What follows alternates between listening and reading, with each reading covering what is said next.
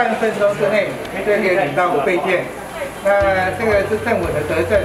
邮局领取预约纸本五倍券今天登场，约五十万名民众登记领券。民众需依照所预约的邮局以及时段出具健保卡领取。由于采预约分流制，所以今天大多数邮局没有出现大量排队人潮。现场观察，有民众最快只需二十秒就能顺利领到五倍券。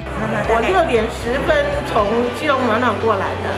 那刚领的顺利吗？顺利顺利啊！时间就好了？不用。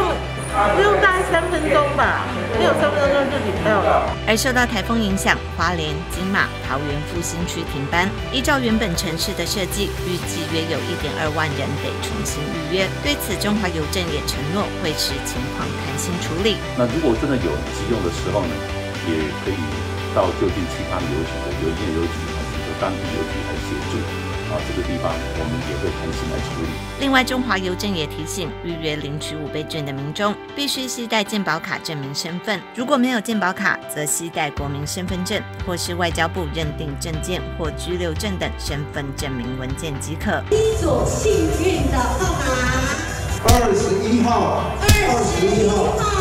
交通部观光局配合振兴五倍券规划的国旅券，今天抽出首批六十万名幸运儿，中奖者为身份证号末两码二一三二九八六七九七，以及末三码为四一零的国人。抽奖当日下午五点将会以简讯通知获奖人，收到简讯通知后三天就可以到国旅券抵用平台领取一千元的 QR code，使用期限自十一月一日起至明年四月三十日止。我们国旅券的抽签哈。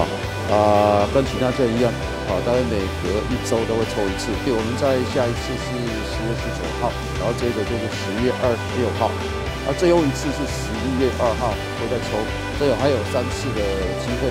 呃，抽到两百四十万份啊，抽完为止。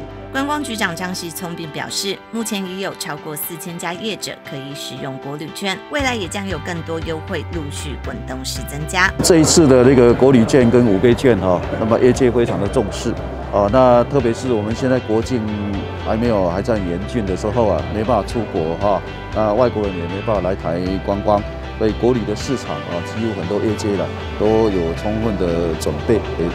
过去不是在做国际国旅市场的，也都转型进来，好像台湾观巴就是一个很大的转型哈。不只是千元的国旅券，交通部观光局为了提振观光，配合国旅券更加码了台湾观巴，全台十九家主题乐园优惠活动。在台湾疫情逐渐趋缓下，预计将可带动新一波国民旅游热潮。